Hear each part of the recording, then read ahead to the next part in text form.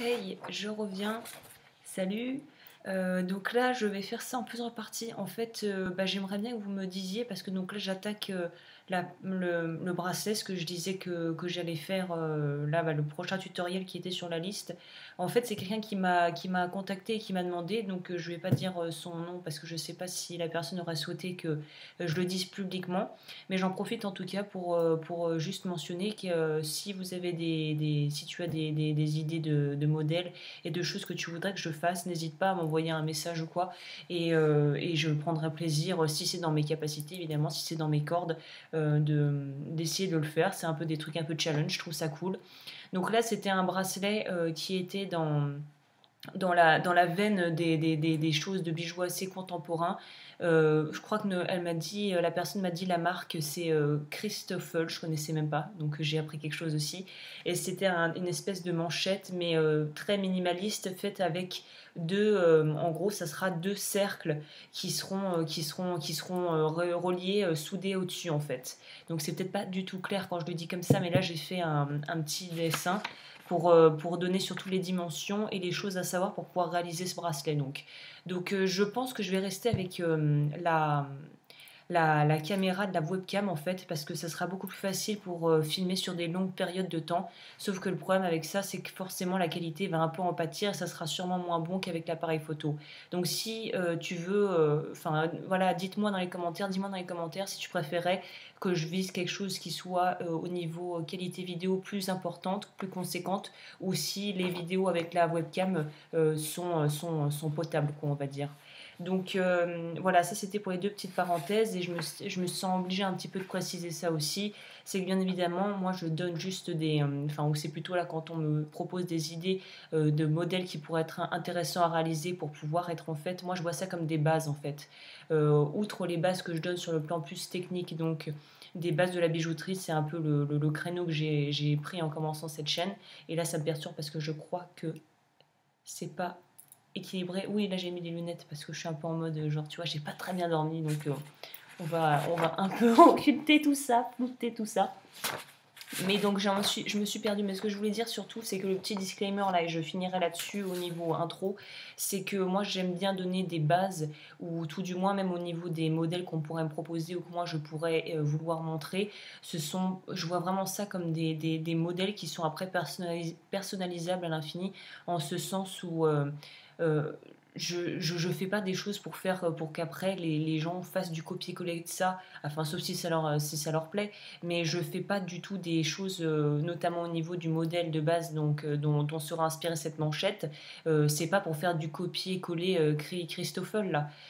c'est juste un, support pour pouvoir après pouvoir moduler ça et te permettre de donner peut-être des idées ou des moyens de commencer et après de, de, de customiser ça à ta sauce en mettant après, on verra à la fin quand ça sera fini ce que moi j'aurais potentiellement pu, euh, enfin ce que je pourrais suggérer euh, pour pouvoir un peu personnaliser ça. Après, ce sont que mes petites idées. Je pense qu'on peut, c'est à l'infini. Les, les, possibilités sont infinies. Donc voilà, je, je ferme la parenthèse sur ça, mais je ne veux pas donner des, modèles juste pour faire des copier-coller, des répliques, mais plutôt pour donner, j'aime bien plutôt cette idée de fournir euh, des bases qui puissent, être, euh, qui puissent être personnalisables par les personnes qui seraient intéressées par le modèle de base justement et qui ont envie de s'en inspirer. Donc c'est inspiration, c'est pas copier-coller, on va faire une réplique de ça, ça ou ça. Euh, donc euh, voilà, je voulais juste dire ça euh, en passant. Donc là, on va passer à l'aspect plus technique du coup. J'espère que ça ira au niveau de la qualité. Donc là, en fait, je pense qu'on voit assez correctement les, inscriptions et surtout donc, ce ce qu'il faut retenir. Donc là, vu que c'est un modèle qui est relativement simple, euh, en ce sens où c'est des formes euh, assez basiques. Je pense que c'est un tuto qui serait très adapté pour les gens qui n'ont qui ont pas forcément voilà, une, une technique très avancée. Je pense que c'est un bon, un, bon, un bon euh, proto template pour commencer. Donc là, en fait, vu comme je viens de l'expliquer au préalable, mais c'était assez vague, là c'est peut-être plus parlant, le bracelet sera composé en fait de deux, deux, ronds, c'est-à-dire de, je vais utiliser du câble en laiton pour faire celui-ci, euh, du câble en laiton 3 mm au niveau du diamètre du fil, donc de l'épaisseur du fil. Euh, on pourrait faire plus, mais euh, plus, ça sera sûrement très joli au niveau du résultat final, sauf que ça sera très dur à, former, puisque plus le métal est épais, plus le diamètre du fil sera gros, plus ça sera dur à travailler. Donc on va parler des manières aussi de pouvoir euh, justement euh, travailler au mieux le métal en recuisant le métal. Donc ça j'y viendrai plus tard. Donc là moi j'ai fait un peu approximatif. Donc on va aussi voir si mes dimensions sont euh, valables ou s'il il serait préférable de les changer. Donc on verra ça aussi à la fin, au résultat final. Donc, les, ce qu'il faut utiliser dans ce cas-là, donc moi pour calculer ça, je suis partie, j'ai fait un peu à l'œil en fait. Donc voilà, je suis partie sur un cercle qui faisait euh, un diamètre de 6,5 cm. Donc sachant qu'il va en falloir deux, logique. Et donc pour avoir le périmètre du cercle, c'est-à-dire pour savoir la longueur du, câble en métal euh, qu'il va falloir utiliser et découper, on a besoin de cette formule. Donc le périmètre du cercle, c'est pi fois le diamètre du cercle. Donc pi, c'est 3,14. C'est un peu plus, mais voilà, 3,14 c'est la norme. Donc avec un diamètre de 6,5 cm, pour un, rond, et bien on se retrouve avec un périmètre que j'ai précalculé de 20,42 cm. Donc en gros, si tu veux faire euh, le bracelet avec les dimensions que je donne là, il te faudra deux morceaux de câble, euh, de câble du métal de ton choix d'une longueur de 20,42 cm pour pouvoir réaliser le bracelet. Donc voilà, on va, attaquer euh, parce que c'est déjà euh, long, 6 minutes euh, juste pour l'intro. Mais donc voilà, là il y a les câbles, je veux dire les références. tu pourras poser la vidéo si tu as besoin de retrouver. Donc périmètre du cercle, c'est pi fois le diamètre. Et moi, je vais continuer donc à l'atelier. Je pense que je vais en faire une déjà préfaite et on va faire ensemble le deuxième cercle. Et je pense aussi que je vais un petit peu les raplanir. Mais tu, tu verras, tu comprendras quand je m'y mettrai. Donc euh, là, j'arrête pour la partie intro et on va attaquer le, concret. Et n'hésitez pas à me dire donc du coup si vous trouvez que la qualité vidéo est trop merdique et si c'est le cas, je m'adapterai, je m'ajusterai, on prendra plutôt l'appareil photo. Euh, et je me démerderai au niveau des, contraintes qui me, sont propres. Donc euh, voilà, bon bah à tout de suite. Hey, donc là on va attaquer. Donc j'ai déjà prédécoupé mes deux fils en laiton euh, donc euh, aux dimensions que j'ai précédemment euh, dites, donc 20.42. Enfin, pour être tout à fait honnête, vu que j'avais une chute de, fil, c'est du fil laiton 3 mm, j'ai pris les chutes qui me restaient et c'est plutôt 19 et quelques que 20. Donc on va voir, mais le principe restera le même, sensiblement le même, même avec les autres dimensions du coup. Donc là, j'ai ça. Bon, je tiens à préciser, voilà, je suis avec mon short à fleurs. Oui, non, mais parce que c'est moi, hein, mais euh, quand j'avais publié une ou deux vidéos il y a, il y a plein de temps, et avant de les publier, euh, voilà, je les visionne pour voir si tout est ok. Et à chaque fois, on a l'impression que je suis à moitié à poil, mais non, voilà, je, je suis en short chez moi parce que même s'il fait moins 40 dehors, j'aime bien être à l'aise. Euh, bref, petite parenthèse, on retourne dans le vif du sujet. Donc là, ce qui se passe, c'est qu'on va recuire le métal. Donc recuire le métal, c'est juste le fait de passer le, métal au chalumeau avec une flamme assez vive pour emmener le, métal à la température euh, donc du rouge cerise pour, euh, l'argent. Et euh, ça c'est à peu près la même couleur pour la même teinte pour le laiton. Et en fait chauffer le métal va permettre de ramollir les particules à l'intérieur qui sont de plus en plus dures à, former et à bouger, enfin à, mettre en forme, plus tu, plus tu vas, plus tu vas travailler le métal, plus il va devenir cassant et les particules vont devenir de plus en plus dures. Et en fait, recuire le métal est, une étape très importante, voire principale, cruciale pour pouvoir travailler des, formes et mettre en forme des câbles ou euh, toute autre chose qui, qui, qui requiert, par exemple, même la texture sur du métal martelé, par exemple une plaque que tu veux, que tu veux texturer. Il va falloir recuire un moment parce que ça va être trop dur à travailler si le métal n'est pas recuit. Donc c'est ça qu'on appelle le recuit et ça marche avec tous les métaux. Je, enfin, en tout cas, tout ce que moi j'ai utilisé, c'est-à-dire argent, euh, laiton, euh, l'or et euh, bon, par contre, le goldfield, je sais pas si, si, si, le plaqué-or serait, serait, ça serait avisé de faire ça avec du plaqué-or, vu qu'il faut surtout pas monter la température trop parce que sinon ça va éroder le plaqué. Mais pour les matériaux, on va dire de base, ça fonctionne et c'est presque, enfin, c'est un prérequis quoi. Donc là, j'ai coupé mes deux bandes. À savoir que j'ai utilisé pour euh, le laiton est un peu plus dur. Euh, étrangement, j'ai remarqué là en essayant de le travailler que c'est un petit peu plus dur à travailler. Euh, et c'est-à-dire que le temps, je pense que la température de fusion est un peu plus haute que pour l'argent. Donc j'ai mis la buse. Non, ah bah tiens, c'est bien que je le dise. Je mets la buse que j'utilise généralement pour la fonte, qui est la plus grosse buse en fait. Surtout que là, on travaille du câble 3 mm, donc c'est assez épais, donc ça ira beaucoup plus vite si on met la buse pour fonte, enfin celle que je, que labelle comme étant pour fonte. Donc je pense pas que tu vas voir énormément ce qui se passe, mais bon, euh, je vais faire de mon mieux pour te montrer en, comment ça se passe en pratique.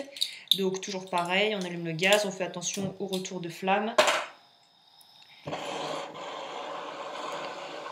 Et là, en fait, ce qui est un peu chiant avec ce genre de, de, de, Là, la contrainte, ça va être que c'est une longue surface. Donc, il va falloir y aller de manière uniforme partout.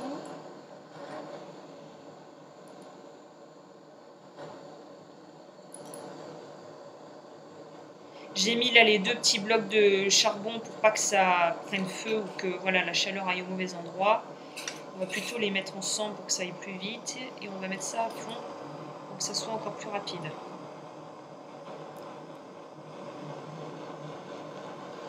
Bon là en plus euh, je peux pas dans, me mettre dans la pénombre mais donc tu pourras pas voir les changements de couleur euh, aussi bien que je le souhaiterais. Mais en fait tu vas voir à un moment le métal va devenir très euh, jaune et va te va donner une teinte presque quasiment euh, marron, j'aurais envie de dire. Et là, tu sais que c'est bon. Donc, vu comme je disais que la contrainte, c'est que c'est quelque chose qui est assez long, on va s'attaquer à une partie. Voilà, là, je sais c'est bon de ce côté-là. Parce qu'une fois que tu l'as fait, le but n'est pas de vraiment euh, faire fondre le métal ou quoi que ce soit. On retourne tout ça et on fait l'autre partie. J'ai obligé, j'ai obligé, j'ai oublié de mentionner que j'ai changé en fait euh, de bureau. Finalement, j'ai fait un mix entre mon ancien et, euh, voilà. En fait, j'ai fait un, un petit changement parce que l'ancien me convenait mieux au final, mais il fallait que je fasse quelques modifs. C'est un détail, c'est tu t'en fous. Voilà.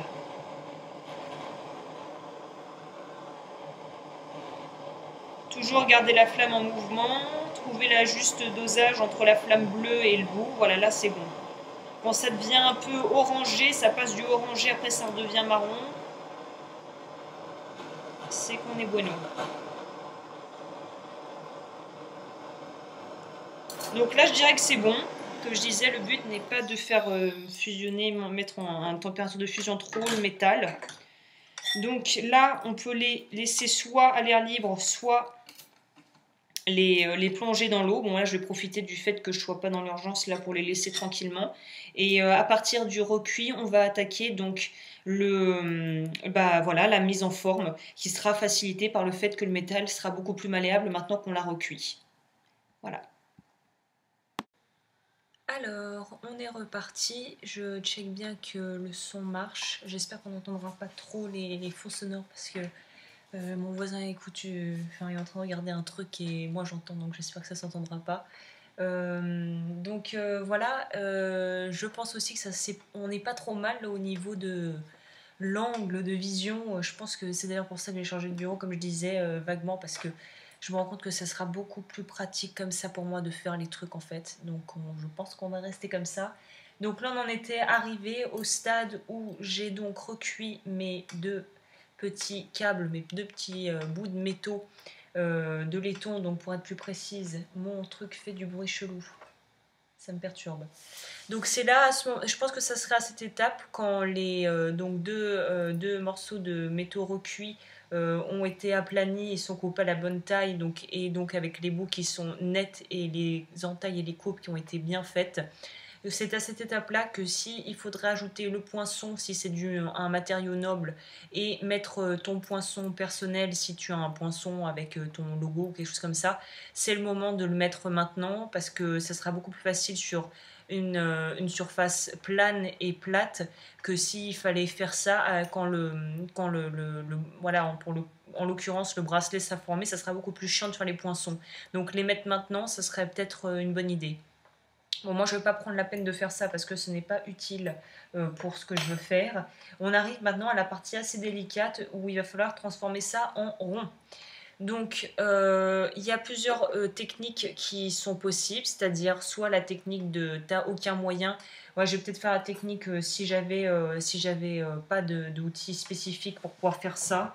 Je pense qu'on on, sera plus, ça sera plus raccord avec ce que bah, du coup pas mal de gens pourraient, pourraient, euh, pourraient, pourraient avoir. Euh, enfin voilà, on va faire le plus basique qui soit. Si on, en imaginant que tu n'as pas d'outils spécifiques pour pouvoir, euh, pour pouvoir arrondir le métal, on va faire comme si on n'avait que le strict minimum, c'est-à-dire quand même, bon bah pour moi le strict minimum c'est quand même d'avoir un Masta Mandrel, je sais plus comment ça s'appelle, un triboulet rond du coup, puisqu'on veut un cercle d'avoir le marteau qui ne marque pas le métal en plastique, le fameux petit maillet en, plastique, en mastic.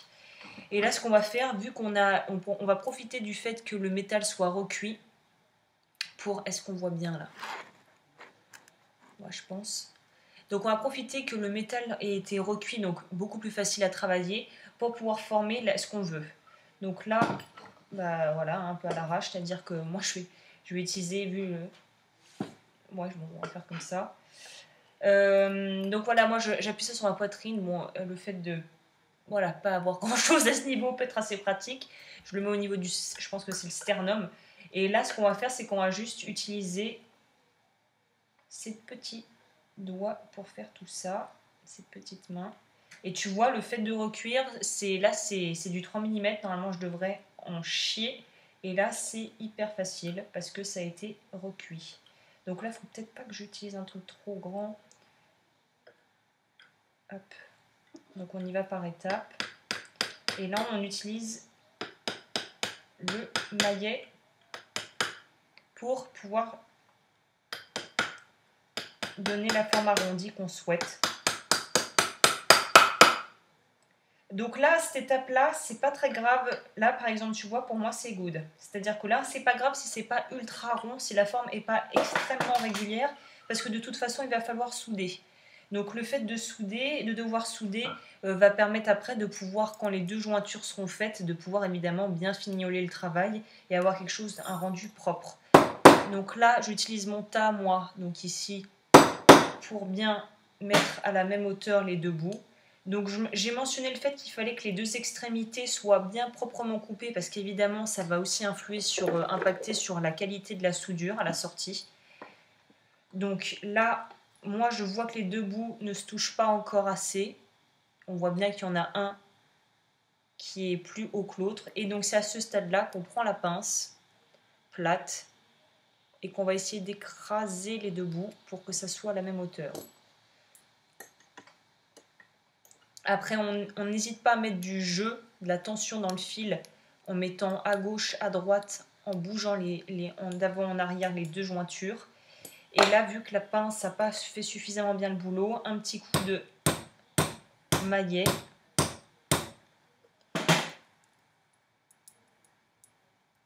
Donc tu vois, ça a plus du tout une forme ronde. Enfin là, ça se voit peut-être pas forcément, mais moi je vois que c'est plutôt, il y a un bout plutôt écrabouillé et l'autre qui est assez arrondi c'est pas grave ça. Absolument pas grave. Ça portera pas préjudice à la suite. Devant, derrière, devant, derrière. Jusqu'à ce que tu aies une tension acceptable qui fasse que ça tienne tout seul.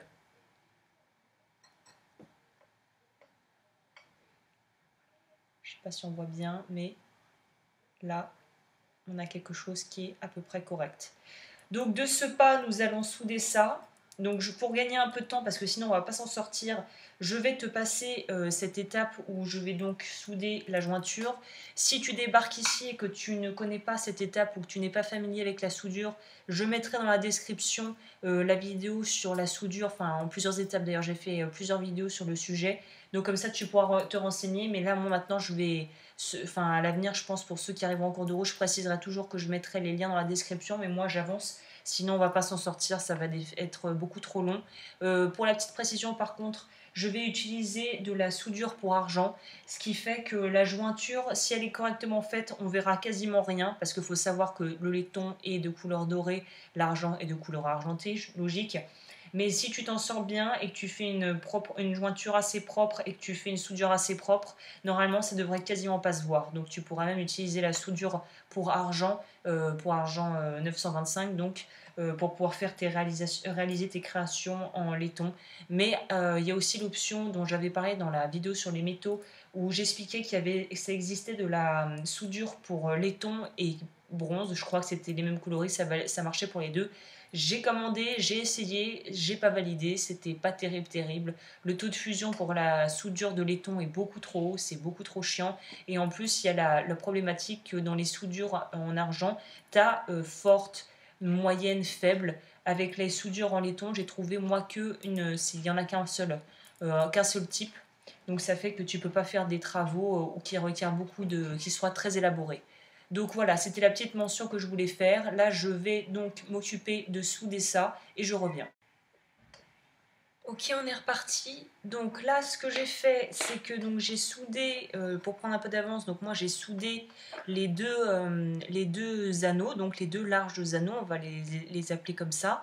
Euh, je les ai soudés avec de la soudure forte pour argent massif. Donc, pourquoi forte? Parce qu'en fait, vu que ça va être il va y avoir qu'une seule partie qui va permettre de tenir les deux jointures pour pouvoir faire le bracelet, former le bracelet, et qu'on va devoir donc un petit peu malmener le métal, j'ai préféré verrouiller en mettant du fort et il faudra également mettre du fort pour la soudure finale entre les deux anneaux, la jointure. On aurait pu mettre du médium, cela dit, mais moi j'ai préféré mettre euh, fort partout, enfin partir sur une idée de mettre fort partout. Euh, j'ai donc soudé les deux parties. Euh, d'ailleurs, ouais, il va falloir que je, que je rabote un peu.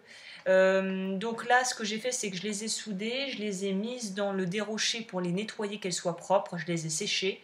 Euh, et là, en fait, pour, euh, pour te montrer comment j'ai fait, pour gagner de l'avance, j'ai fait le premier, et on va faire le deuxième ensemble. Donc, même principe que tout à l'heure pour former le métal. On prend le, euh, le triboulet. Donc, moi, j'ai pris en bois et tu pourrais prendre en métal.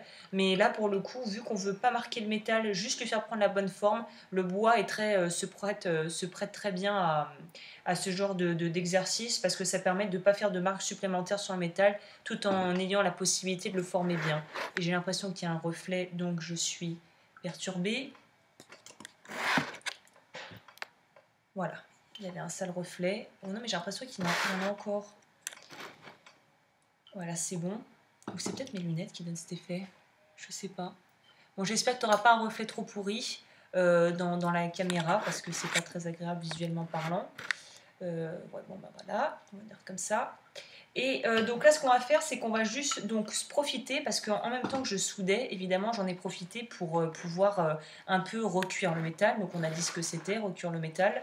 Désolée, je bouge encore, mais tant que ça ne me conviendra pas, je vais être trop perturbée.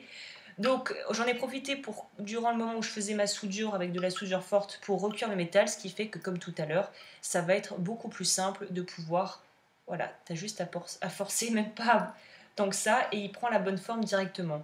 Là, ce qui est important à savoir, c'est qu'on va profiter du fait que ça soit recuit pour pouvoir faire, donc j'ai fait la première face, on va le retourner, le mettre dans l'autre sens et faire pareil pour être sûr que ça soit pareil des deux côtés.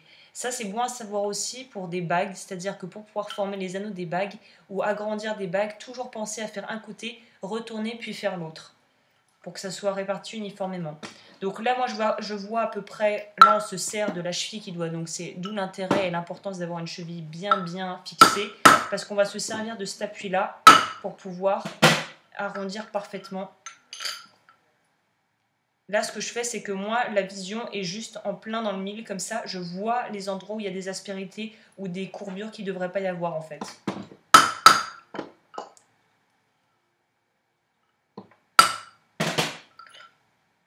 Donc là, c'est pas encore tout à fait ça. Tu vois aussi, après, il y a plein de techniques. Je sais pas s'il y en a une meilleure que d'autres, mais... Voilà, là, on est bon.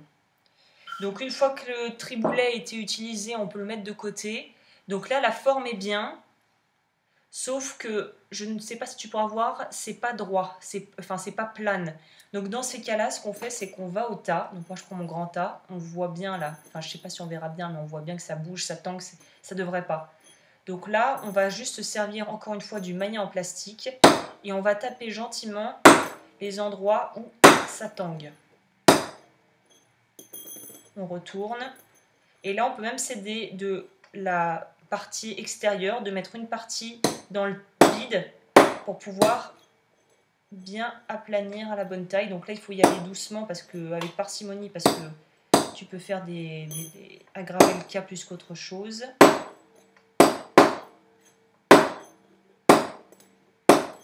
Ne pas oublier de retourner comme je le fais là un peu régulièrement pour être sûr que ça soit pareil des deux côtés. Et là, on a un truc qui est plat. Donc c'est ça qu'on veut, le plus plat possible et le plus rond possible du coup. Donc on se retrouve avec ces deux, nos deux parties. Et là en fait, je ne sais pas si on pourra voir, mais tu vois, il y a la décoloration du métal euh, sur celle-ci. Enfin là, toi tu vois celle-là mieux. La décoloration du métal, faut pas s'en inquiéter. Évidemment, toujours en mode euh, elle ne sait pas comment faire pour atteindre la caméra correctement. Donc en fait, là, faut pas s'inquiéter de la décoration un peu orangée du métal.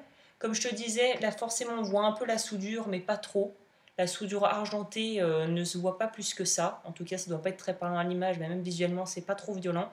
Et là, ce que je vais faire, c'est que je vais attaquer le, le pré-polissage. Donc d'abord, je me dis un peu pour être sûr que les, jointures soient bien aplanies et qu'elles deviennent le moins visibles possible.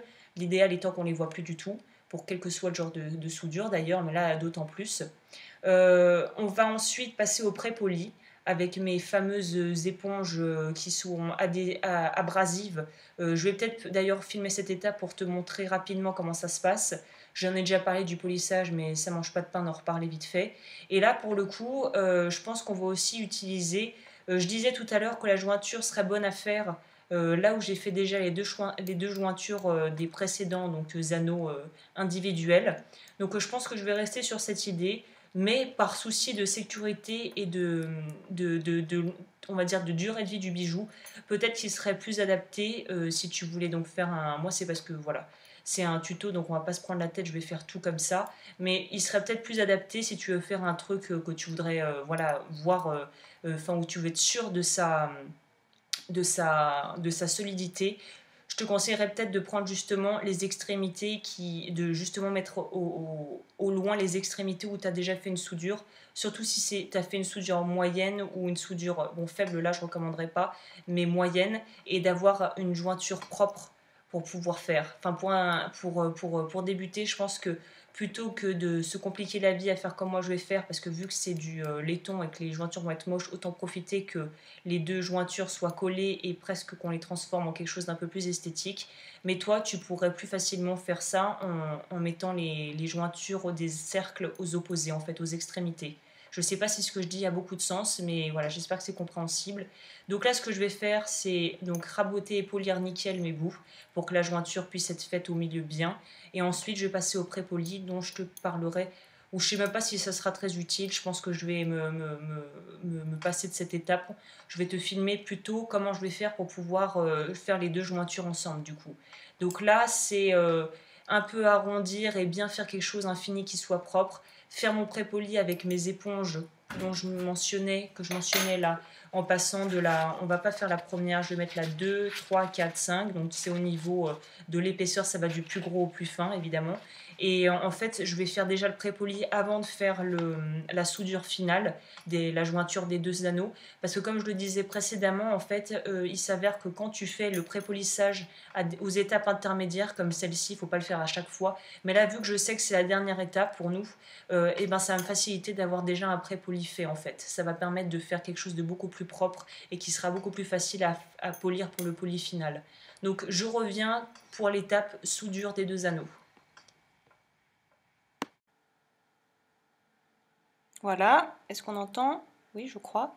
Donc là, j'essaie de faire un petit rapproché, même si ça va pas être violent pour te montrer. Donc j'ai utilisé ma troisième main.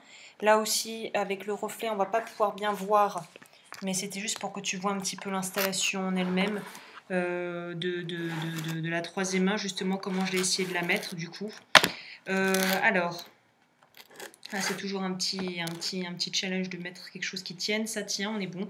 Donc là, en fait, j'ai mis la troisième main qui, euh, qui tient cet anneau-ci. En fait, c'est juste posé assez fermement et avec assez de tension dans la pince, justement, pour pouvoir, enfin, voilà, la pince, la base, quoi, qui tient la pince, pour pouvoir faire que celui-ci ne bouge pas. Et en fait, je vais m'aider d'une petite bruxelle pour tenir, si nécessaire, la, la deuxième, qui doit être bien fermement mise à côté. Mais pour l'instant, c'est l'air de tenir comme ça. Donc je la place bien et ensuite on verra quand on sera en train de souder. Euh, pour pouvoir euh, donc limer les bouts, surtout au niveau des deux jointures des anneaux où il y avait la soudure, je me suis euh, aidée d'une lime sauge, feuille de sauge, ça s'appelle. Il y a un côté arrondi, un côté bombé, un côté plat et en médium, donc en taille de, de, enfin voilà, de, de, je sais même pas comment on dit, de grit bon voilà, qui est euh, médium, et j'ai pris la fine pour pouvoir finaliser, et ensuite j'ai pris mes éponges euh, abrasives pour pouvoir faire mon poli fini, enfin pardon, mon pré-poli nickel. Donc là, il y aura plus grand chose à faire quand on aura fini la soudure des rochers et qu'on passera à l'étape finale. Donc euh, l'étape finale, quand ça sera fait, là, la soudure, ça sera de repasser peut-être l'éponge abrasive la plus la microfine, en fait, la plus fine, et finir toujours avec ma petite brosse de prédilection, qui est euh, une brosse Euro Tool, qui permet en fait de faire euh, le, brillant, qui permet de donner un petit éclat supplémentaire au bijou quand on va passer au polissage. pour le coup, là, le polissage, je vais le faire à la auto à polir. Donc voilà. Bon, du coup, là, j'ai décidé, parce que je trouvais qu'esthétiquement c'était plus joli, que les anneaux soient un petit peu. Euh, je les ai un peu transformés en ovale. En, juste, bah, comme tu vu faire précédemment, j'ai juste. Tu prends un côté, tu, tapes tu tapotes un peu avec le maillot en plastique, tu retournes, tu tapotes jusqu'à avoir la forme que tu souhaites. Ou si tu préfères par euh, esthétique ou esthétique, tu aurais pu laisser rond si ça te plaît. Moi, je préfère ovale parce que je trouve que ça sera plus joli au niveau du poignet. Et d'ailleurs, petite parenthèse, ça ressemble beaucoup plus à ce que euh, la base que j'ai utilisé donc euh, la manchette, la fameuse manchette qu'on m'a qu'on m'a envoyé à faire comme euh, comme euh, comme source de base quoi de modèle. Donc voilà, de faire ça à ovale, je trouvais ça plus joli. Moi j'ai un peu du mal là, c'est assez condensé quand je fais ça, il faut que je me concentre énormément. J'ai un peu du mal. Donc là, ce qu'on va faire, c'est qu'on va utiliser un petit peu de borax ou colobore voilà, ça a plusieurs noms, mais c'est la même chose. J'en ai mis au niveau où je vais faire la jointure pour pouvoir me permettre de faire, comme je disais, que le borax joue comme une sorte de colle qui va permettre de mettre les, choses au bon endroit et de les fixer de manière assez précaire, mais de les fixer quand même assez bien pour que je puisse les poser et pas trop être embêté après, une fois que c'est fait. Parce que là, faut pas. Enfin voilà, je le fais pour que ça soit bien placé, mais évidemment à ce stade-là, euh, ça peut encore énormément bouger. C'est juste histoire de bien stabiliser les choses en fait.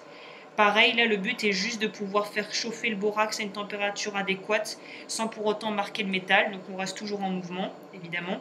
Et là, quand la chose est faite, on va juste en profiter pour pouvoir ajouter euh, le, paillon alors que la soudure est encore, euh, pardon, que le métal est encore chaud, ce qui va permettre d'avoir une meilleure accroche et que ça soit mieux, euh, et une meilleure adhésion en fait du paillon sur le métal chaud.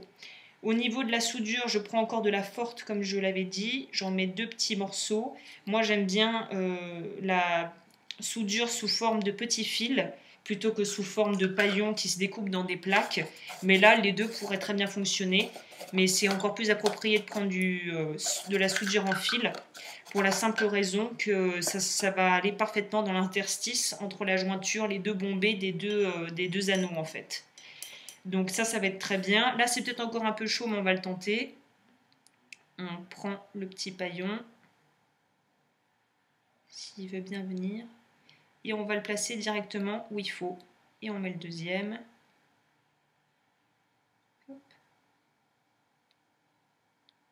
Il veut pas celui-là. Et on met le deuxième.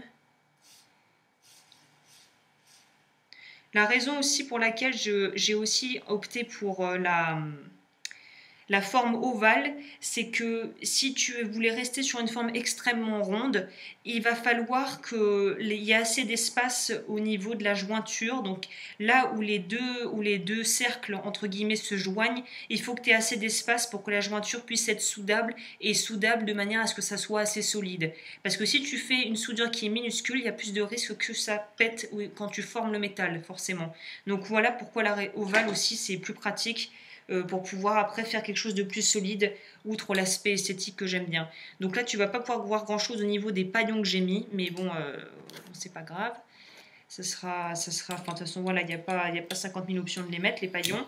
Mais j'ai essayé de les espacer à moins de 5 mm l'un de l'autre on chauffe gentiment et vu qu'on a profité de la chaleur du métal déjà qui émanait du fait qu'on est préchauffé avec le borax, bah les paillons ne bougent pas. C'est ça l'avantage de cette technique, c'est que les paillons restent en place et c'est beaucoup plus facile de gérer ça, euh, de gérer ça au niveau surtout après de la,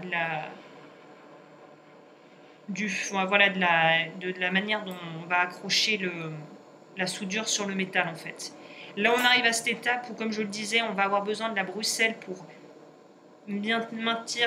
maintenir bien l'anneau, le, là le cercle, le deuxième anneau, pour que ça soit bien. Hop. Et là, maintenant qu'on a gentiment chauffé, j'ai gardé la buse pour euh, soudure, parce que, euh, pour euh, fonte, parce que comme je le disais, avec le laiton, la température de fusion est plus haute et plus dure à atteindre, enfin plus dure, juste plus lente quoi. Mais il faut pas y aller trop fort parce que si tu vas trop fort, tu pourrais potentiellement faire partir la soudure de manière pas uniforme et que ça soit un peu soit pas bien géré quoi. Donc toujours y aller par étapes. Là, on atteint, on bouge toujours, ne pas oublier de bouger.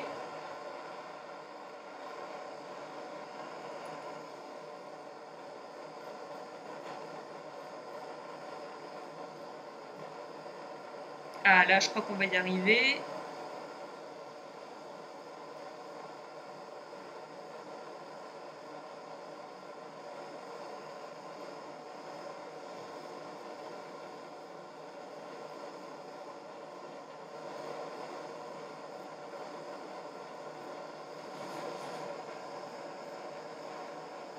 Voilà.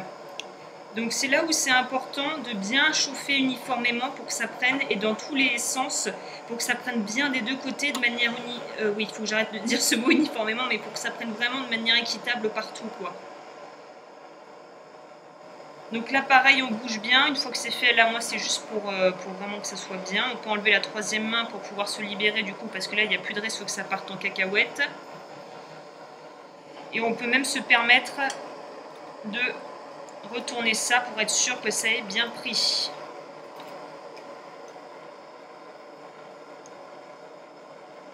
Hop. Bon là c'est un peu facultatif mais moi j'aime bien être sûr que la soudure est bien prise des deux côtés. Donc là moi je suis contente. Je vais donc déjà baisser un peu ça et l'éteindre. Et là ce que je vais faire c'est que donc je vais le dérocher. Donc, c'est-à-dire le nettoyer tranquillement, d'abord le passer dans l'eau froide, puis le dérocher. Et ensuite, je vais donc finir mon toujours euh, la même chose que précédemment en fait, c'est-à-dire que je vais utiliser mes limes sauge euh, pour vraiment être sûr que tout soit nickel s'il y a des aspérités et un petit peu trop de soudure qui est un peu dépassée d'un côté ou de l'autre. Généralement, si tu gères bien le nombre de pagnons que tu mets, la dose de soudure entre guillemets que tu mets, tu devrais pas être euh, confronté à ce problème. Et là, d'ailleurs, ça va pas vraiment être mon cas, mais c'est juste pour que ça soit bien propre. Je vais finir mon pré-poli avec mon, éponge puis ma fameuse petite brossette. Et une fois que ça sera fait, je te filme la partie où on met ça en forme. J'ai l'impression que j'ai oublié un truc. Non, bah, je crois que j'ai tout dit. À tout de suite. Hey, me revoilà. Donc euh, j'ai réussi à régler le problème de problème de reflet. En fait, il suffisait de mettre, euh, de tirer le rideau. Voilà, ouais. Euh, donc là, j'ai donc déroché euh, fait le nécessaire pour que les, bouts et les jointures soient plutôt clean, ou du moins on va essayer de faire au mieux. Ensuite, j'ai fini mon pré-poli.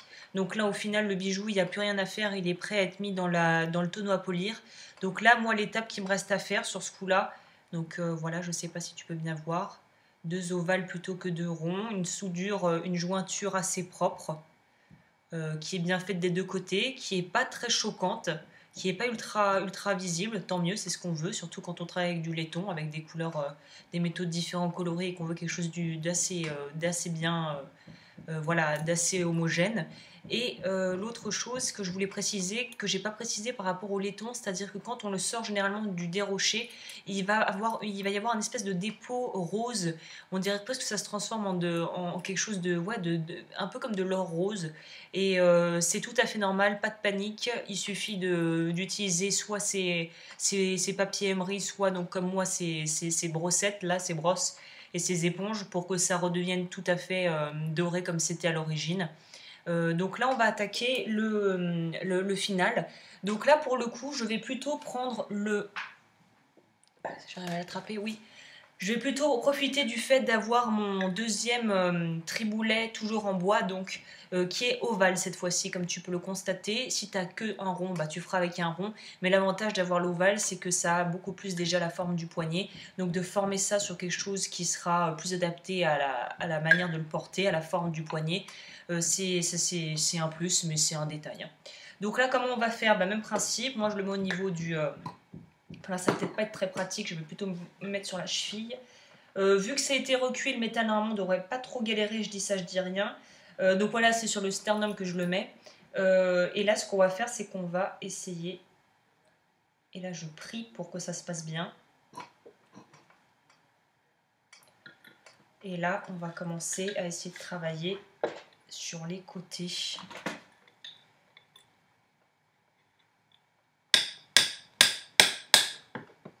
Donc là, je maintiens comme je peux. Hein. Et on y va mollo avec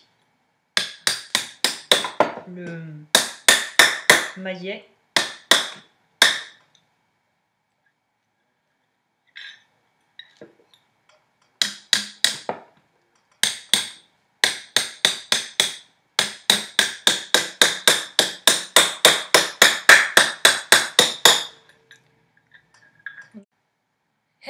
Je vais, je pense que tu auras d'ici là, toi tu vois ça, donc c'est que j'ai réussi à faire une coupure parce que tout à l'heure là j'ai pas réussi à faire un truc bien. Enfin, c'est que je commençais un peu à m'enliser, je savais pas trop comment faire, donc plutôt de faire, de faire une vidéo qui, qui va être trois fois trop longue, j'ai préféré couper. Il y a un reflet encore, mais on va y arriver. C'est la fin euh, voilà, donc en fait, ce qui s'est passé, c'est que l'erreur que j'ai faite, c'est-à-dire que effectivement, déjà, ça prend du temps, tu vas sûrement un peu transpirer, mais vu que le mien, le, bracelet s'avère être assez petit au niveau de, la taille et presque trop petit, c'est pour ça, voilà, je disais que les mesures au début, on va voir si ça le fait. Euh, il faut bien compter au moins 3 cm en plus sur, euh, par rapport au niveau du diamètre du cercle pour avoir un bracelet qui tiendra sur tous les poignets parce que moi j'ai un petit poignet donc ça passe. Donc j'ai été obligée en fait de remonter au niveau du travail euh, pour pouvoir faire ma formation de bracelet sur euh, la partie la plus, la plus petite en fait au final du, du, du, mandrin ovale. Et la technique c'est vraiment, bah, en fait c'est, il va falloir euh, y aller de patience, t'armer de patience. Parce que je me plaignais que les bouts rebiquaient et la seule manière de faire, enfin c'est normal en fait, la seule manière de pouvoir les raplatir c'est justement de très bien fermement saisir la partie que tu veux raplatir. Et en fait bah voilà d'y aller comme ça, juste à ce côté un truc qui soit, euh, qui soit à ta convenance. Et comme je disais, surtout pas oublier de euh, vraiment mettre ça des deux côtés pour pouvoir vraiment s'occuper des deux bouts qui sont à aplatir. Tu vois bien que là il y a max. On l'écrase. Pareil de l'autre côté, il on tient fermement et on l'écrase. Donc euh, ça donne quelque chose d'à peu près comme ça. Je pense qu'il y aurait encore du travail à faire. Donc moi je vais m'arrêter là pour la vidéo. Parce que sinon ça va durer trois plombes. Et qu'auditivement parlant ça doit pas être ouf. Donc voilà quoi ça ressemble quand c'est pas encore tout à fait formé. Mais que ça se porte euh, déjà au poignet en fait. Voilà euh, le résultat. Donc c'est pas vilain, hein, mais voilà, moi c'est beaucoup trop petit pour des poignées standards. Euh, et même moi, il va falloir que j'ai pas mal de boulot pour pouvoir le faire euh, bien, euh, l'arrondir au bout pour qu'il tienne. Mais voilà à quoi ça ressemble. je pense que je vais m'arrêter là et qu'en fait je mettrai au départ la vignette de la vidéo sera le bijou fini. Je vais essayer d'insérer si j'y arrive le bijou poli porté en faisant une vraie photo. Donc comme ça, tu as une idée de comment faire la manchette. Donc euh, voilà, moi je vais m'arrêter là parce que je crois que la vidéo va déjà être méga longue entre guillemets à monter. Mais voilà l'idée euh, et j'essaierai de mettre le rendu final quand même si j'y arrive. Donc voilà, maintenant tu sais comment faire une manchette. Sachant que moi je l'ai fait trop petite. Donc comme je disais, je pense que pour un, poignet lambda on va dire, il faudrait un diamètre d'un cercle, donc d'une des, des, parties, qui soit minimum, minimum à 8 cm, je pense, pour être bien. Donc voilà. Bah écoute, je te laisse. J'espère que ce tuto t'aura plu. Que voilà, il y a toujours les petites, euh, les petites problématiques du direct et le fait que je prépare les trucs un peu à l'arrache. Les commentaires et euh, critiques constructives et suggestions sont les bienvenus. Et je te souhaite une bonne journée. A plus